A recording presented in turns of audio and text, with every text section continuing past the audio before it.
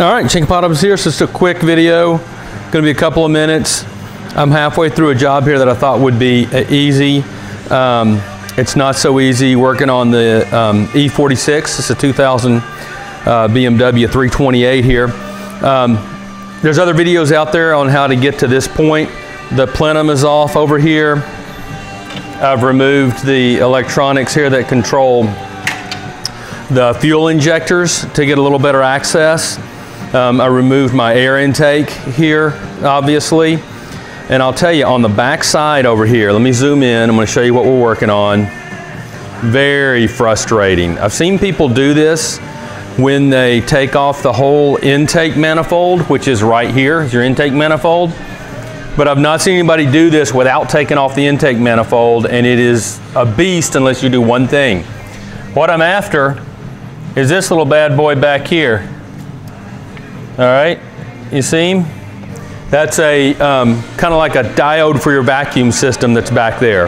So one-way valve keeps the vacuum going into a little vacuum control that's hooked in electronically and electronics connection is down in there where I took it out.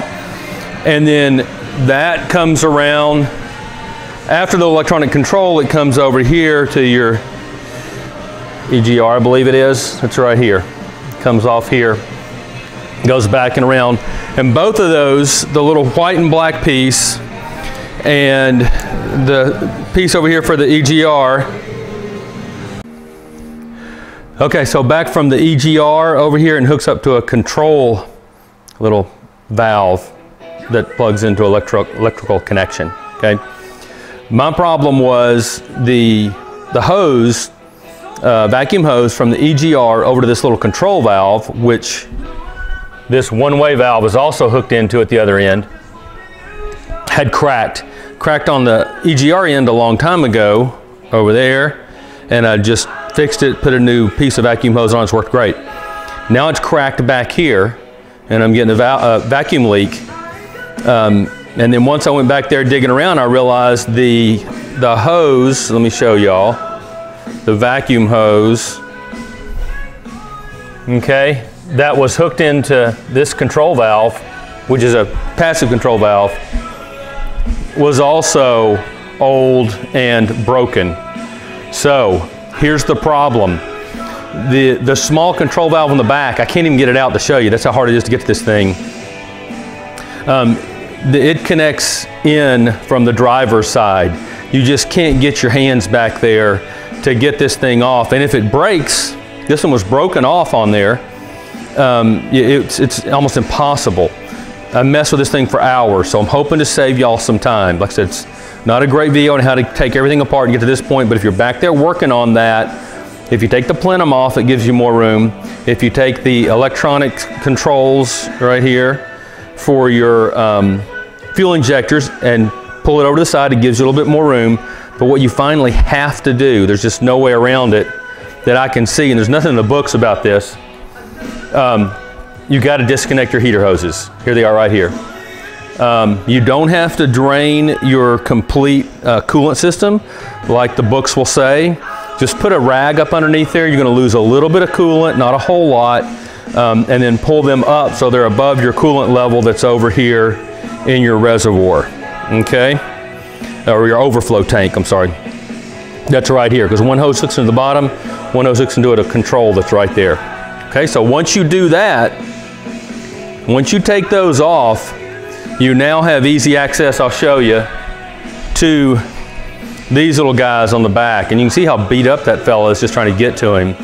There's two of these that hold the bracket for that control valve back there. Get the bracket undone. You don't have to take it all the way out, but once the bracket is undone, you can scoot it out far enough and pull it over far enough to push your connector to the EGR into the end. So that's the key to getting these things off. Once you get these um, heater hoses off, you now can get back there with your ratchet, okay? And you can get these two little guys off. It's impossible to show y'all what we're looking at back there. I can't get the camera around. That's why, why nobody's done this before.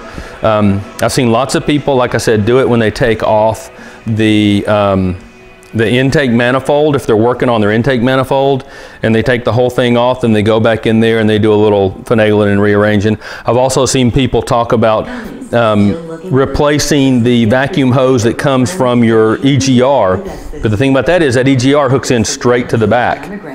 So you got you can get your hands in there and you can push, okay? But take this uh, cover for your motor off. That really helps you get some room. And obviously the, um, the cabin filter and all that is off. The engine covers are off. Um, the plenum over here um, is off, okay? Those kind of the major things and the, the air box too. Oh, another piece I took off that there's a plastic piece that's right here. Covers this part right here. Go ahead and lift that out. That just gives you more room to get your hands in the side and be working on everything. Okay, so like I said, probably going to get some uh, bad feedback, I don't know, on not having a whole thing on how you take it all apart. That's not what this is about. It's about trying to replace those silly vacuum hoses back there that I've worked on for hours and finally realized you can't do it unless you take off the heater hoses because you got to be able to get the um, got to be able to get the brace back there off enough to be able to push on your hoses. All right, one little um, trick. Here's the brace. Looks really hard to see back there. I'm not taking it all the way off. Um, once you loosen it from the fuel lines that are coming down, which is pretty easy, there is a zip tie right here that's got some of your electrical connections, one of them being the connection that comes over to your control for your fuel injection. Um, and you just clip that little zip tie and then you can take the whole brace. This is this edge of the brace out. All on, I wasn't replacing the, um, the sensor or the, the control, the, the vacuum control in there. So all I need to do is get this loose enough to pull it out the back and hook my hoses in. And now I'm just gonna resecure it. Alrighty. Okay, and then you just put it back down and then you're done. A lot of work for two stupid little hoses, but better than taking off um, the complete intake manifold. Okay, guys. Uh, and girls, I guess. So, uh, Dr. Shankopotamus, I hope this little quick video was helpful because this thing was a pain in the fanny. The next step would be, um, just as an aside, I don't know, you're gonna have to do some more finagling. Once you get it loose, you can get it off. You gotta disconnect fuel lines off of it. Um, but once you have it to this point, if you're replacing the valve completely, it's got a little snap on it. You can't get to that snap until you get the, um, the brace off, all right?